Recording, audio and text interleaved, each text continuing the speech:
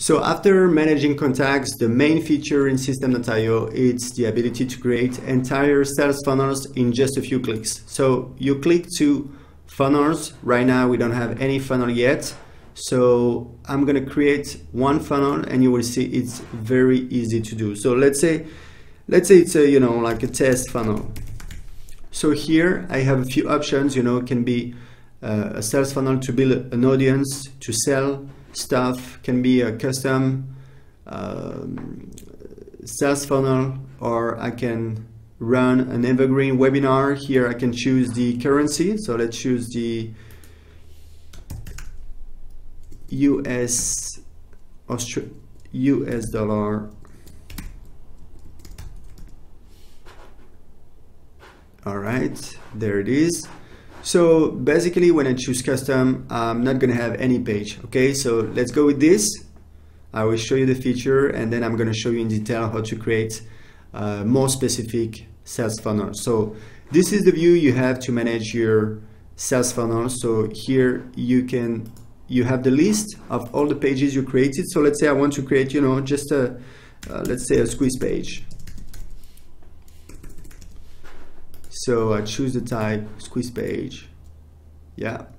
So there it is. This icon here means that I don't have, I haven't chosen any template yet. So I have some template I can choose from. Uh, if you want more templates, feel free to reach out to us and let us know which template you want and we'll be happy to, to add it to the list. So here you have the so the step configuration so let's say I'm gonna I'm gonna select this one. It's quite nice. Yep. So now I have the step uh, settings. So that's the name of the page the URL path here. Of course you can um, you can actually link your own domain to use your own domain instead of this systeme.io subdomain here and here you have the uh, the ability to copy the link to the page. So let's save the funnel click view and there it is. You have the whole page and you can edit it as you want okay?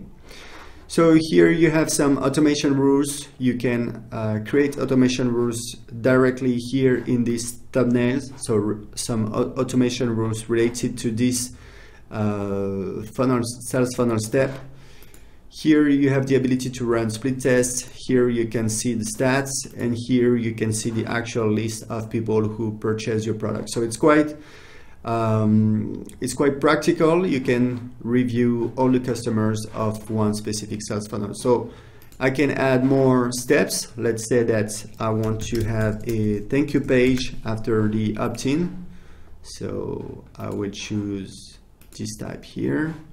And there it is. I have two templates. Let's choose this one.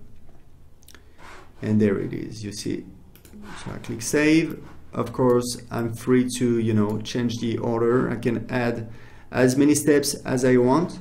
And here I have the ability to set an inactive page. So it's very convenient. For example if you have um, um, an offer that's time limited when uh, time is over, you can actually disable the whole funnel. So all the pages become unavailable and visitors will be redirect, redirected to this inactive page. So here you can, for example, add an opt-in form so that, for example, if you've just done a big launch with affiliates, uh, you can actually uh, collect leads from this page.